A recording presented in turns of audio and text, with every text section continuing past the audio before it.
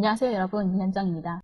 먼저 2013년 1회 문제에서 처음 풀어볼 것은 61번 문제입니다. 미생물의 증식 곡선에 있어서 가장 완성하게 분수가 증식하는 경우를 묻는 문제인데요. 이것은 배수기죠. 유도기, 배수기, 정상기, 삼여기를 순서대로 정리를 하면 유도기 순서대로죠. 배수기, 정상기, 삼열기 순으로 미생물 증식 곡선이 이루어지고요. 그림으로 그리게 되면 유도기에는 미생물 성장이 없다가 배수기에 증가했다가 정상기에 또 분수의 증가가 거의 보이지 않다가 감소하는 영상을 비치게 됩니다. 그래서 그림이 좀 삐딱이 그려졌습니다만 유도기, 배수기, 정상기, 삼열기가 되고요. 유도기는 다르게 얘기하면 적응기라고도 얘기를 하고요. 그 다음에 lag phase라고도 얘기를 합니다. 대수기는 log phase라고 얘기를 하죠. 정상기는 다르게 얘기하면 정지기라고도 얘기를 하고요. 사멸기는 다르게 얘기하면 감퇴기라고도 얘기를 합니다. 다음 문제는 63번으로 가보겠습니다. 63번에 보시면 원핵세포에 대한 설명 중에 틀린 것인데요. 보시면 1번이 틀렸죠. 모든 세균은 진핵 아니고 원핵 생물이고 그리고 원핵 생물에 비해서 복잡한 구조, 진핵 생물이 원핵 생물에 비해서 복잡한 구조를 가지는 것은 맞습니다. 원핵 생물에 들어있는 것이 세균이 있고요. 그리고 방성균이 있고요. 그리고 낭조류가 원핵 생물에 속하는 거고 그러면 진핵 생물에는 무엇이 있냐? 곰팡이가 여기에 속하고요. 곰팡이, 효모, 그리고 조류가 들어가기는 하는데 남조류를 제외한 조류에서 조류가 진핵생물로 볼 수 있습니다. 다음 문제로 가볼까요? 다음 문제는 70번 문제로 가보도록 하겠습니다. 산막효모의 특징이 아닌 것은? 라고 묻고 있는데요. 산막효모는 산소 요구하는 것도 맞고 산화력 강한 거 맞고 피만 형성하는 것도 맞으니까 여러분들이 특징이 이런 것이구나 한 번 더 봐주시면 되고 그리고 액의 내부에서 발육을 하는 것이 아니라 외부에서 발육을 해서 말 그대로 산막을 이루는 효모를 얘기를 합니다. 산막효모 종류에는요 캔디다가 있고요 그 다음에 한센룰라 속이 있고요. E입니다. 한센룰라 속이 있고 그리고 피치아 속이 있고요. 그리고 데바리오마이세스 속이라고 하는 것이 산막효모에 속하죠. 다음 문제로 넘어가서 우리는 73번 문제를 보겠습니다. 효모의 대표적인 증식 방법으로 세포의 작은 돌기가 커지면서 새로운 자세포가 생성되는 방법인데요. 우리는 이것을 출하라고 얘기를 합니다. 효모 가 증식하는 방법으로는 크게 출하법이 있고요. 그리고 분열법이 있고 그리고 출하 분열법이라는 것이 있고요. 그런데 대표적인 증식 방법은 출하법이 되는 것이고요. 분열법이 되는 것은 한 개를 여러분들이 기억을 해 두시면 좋은데 그게 뭐냐 하면 스키조 붙여야 되는 겁니다. 제가 살짝 띄었는데 사카로 마이세스 속입니다. 다음 문제로 가볼까요? 다음 문제는 우리 79번으로 한번 가보죠. 79번에 보시면 아플라톡신을 생산하는 것은 이라고 물었는데 아플라톡신은 여러분들이 미생물에서도 이렇게 나올 수 있고 그리고 아플라톡신 같은 경우는 식품 위생학 파트에서도 다룬 내용이기 때문에 쉽게 풀 수 있는 문제였습니다. Aspergillus 속이 되겠죠. 정확하게 얘기하면 Aspergillus flavus라고 하는 것이 미생물 총 이름이고요. 아플라톡신은 또 하나 더 추가를 하자면 간암, 유발 물질로 알려져 있죠. 다음은 2013년 2회로 넘어가서요. 우리는 63번 문제를 한번 보겠습니다. 고기류를 이용을 해서 발효시켜서 제조한 식품, 즉 발효육 제품을 찾으세요 라는 것이고요. 여기서 아닌 것은 살라미라고 하는 것인데요. 영어로 쓰면 이런 식으로 쓰거든요. 나머지 템페나 사워크라우트 같은 경우는 밑에 설명을 보시면 나와 있고 살라미 같은 경우는 말린 햄의 일종인데요. 이탈리아에서 유 래한 소세지이죠. 소금에 절여서 공기 중에 말려서 발효시키는 음식입니다. 말린 햄의 일종. 이 살라미가 되겠습니다. 다음은 66번 문제로 가볼까요? 파지에 대한 설명인데요. 파지는 일반적으로 세균보다 훨씬 작죠. 세균을 숙주로 하는 것을 우리는 박테리오 파지라고 얘기를 합니다. 그리고 용균성과 용원성 파지를 가지고 있고요. 다음은 우리 69번 문제로 한번 가보겠습니다. 잔항균류가 아닌 곰팡이는 이라고 묻는데요. 여러분들이 원액생물과 진액생물 분류표, 분류표를 한번 생각을 해보시면 좀 쉽게 풀 수 있는 문제이기는 합니다. 근데 그 분류표가 사실 기억하기는 힘들기는 합니다만 그리고 헷갈리기도 합니다만 그 분류표 하나 잘 기억을 해놓으면 이런 식으로 나오는 문제는 쉽게 풀 수가 있으므로 한번 정리를 해보도록 하겠습니다. 원액 생물이 있고요. 우리는 이것을 하등 생물이라고도 얘기를 합니다. 그리고 진액 생물이 있습니다. 우리는 이것을 고등 미생물이라고도 얘기를 하죠. 진행 미생물을 구분을 하면 분열균류와 그리고 남조류를 가지고 있죠. 그리고 분열 균류 속에 뭐가 있냐 하면 세균이 있고요. 그리고 방성균이 여기에 속하게 됩니다. 그럼 진액으로 가볼까요? 진액을 구분을 하면 조류와 균류로 나뉘게 되고요. 조류에서 우리가 공부를 하는 것으로는 홍조류, 그 다음에 갈조류, 갈조류, 그리고 녹조류가 여기에 속하죠. 그리고 균류를 구분을 하면 뭐 정균류와 진균류 등으로 구분이 되는데 우리는 진균류에 대해서 공부를 하게 되고요. 진균류를 구분을 하면 조상균류와 순정균류로 구분을 하게 됩니다.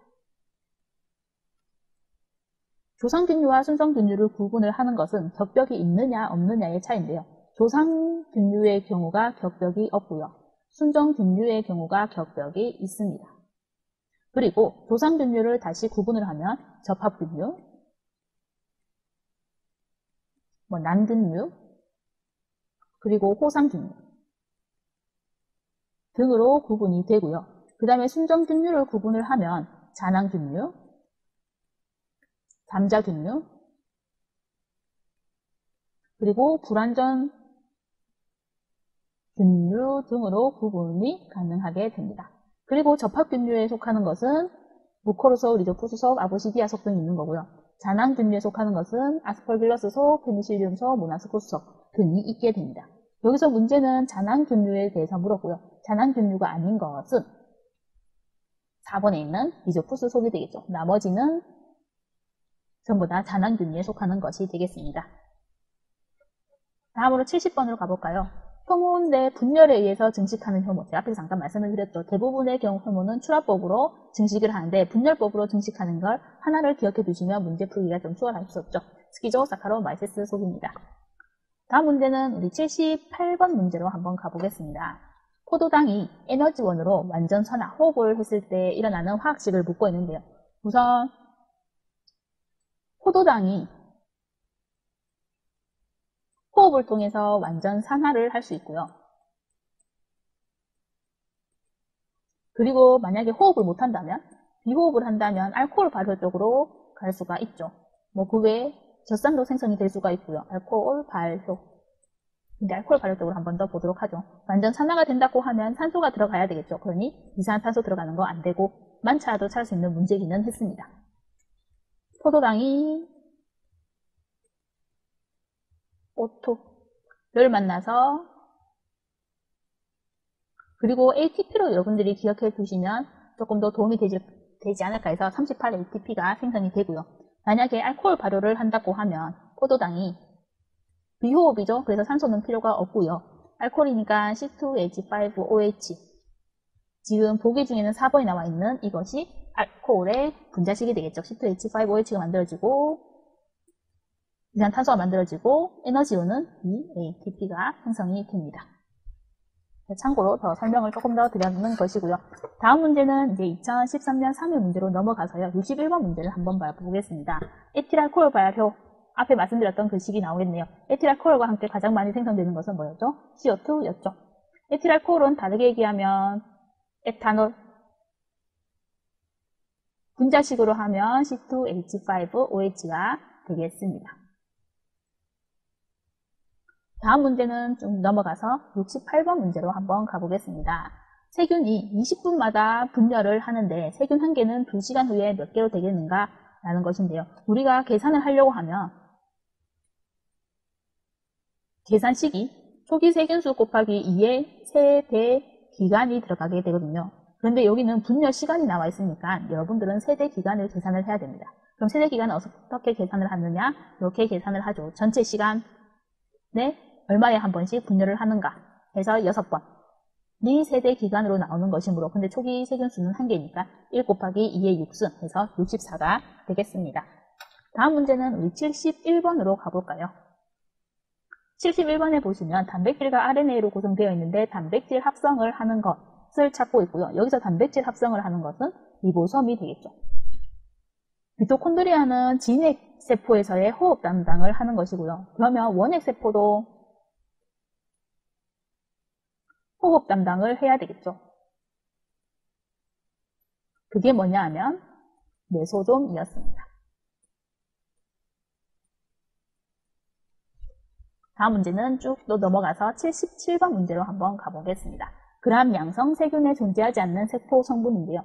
먼저 세균의 경우는 세포벽 구조에 따라서 분류하면 그람 양성과 그람 음성으로 구분을 할 수가 있고요. 이거에 따라서 그람 염색이 달라지는 거죠. 그람 염색을 하는 것을 보면 제일 처음에는 크리스탈 바이올렛이라고 하는 염색약으로 염색을 하게 됩니다. 염색을 하고 루골 용액으로 매염을 시키는 거죠. 염색이 더 잘 되도록 착, 정착을 시키는 과정입니다.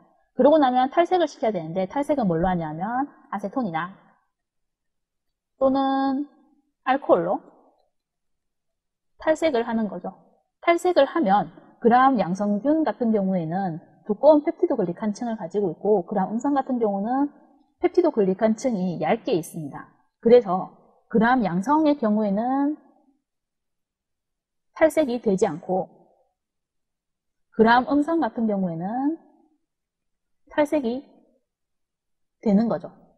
그래서 아세톤 후에는 사프라닌이라고 하는 염색약으로 대비 염색이라는 것을 하게 되는데 그러면 탈색이 된 그람 음성균에는 사프라닌 염색이 먹힐 것이고 탈색이 안 된 그람 양성의 경우에는 사프라닌 염색이 다시 더 딥혀지기가 힘든 거죠.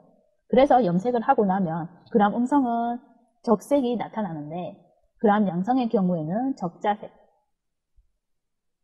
나타나게 되는 것입니다.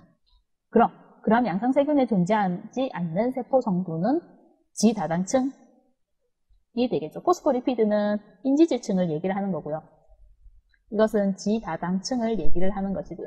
테코익 애시드 같은 경우는 그람 양성에만 존재하는 것이고요. 펩티도글리칸은 그람 양성이든 음성이든 다 존재는 하는데 두 개가 차이가 나는 것.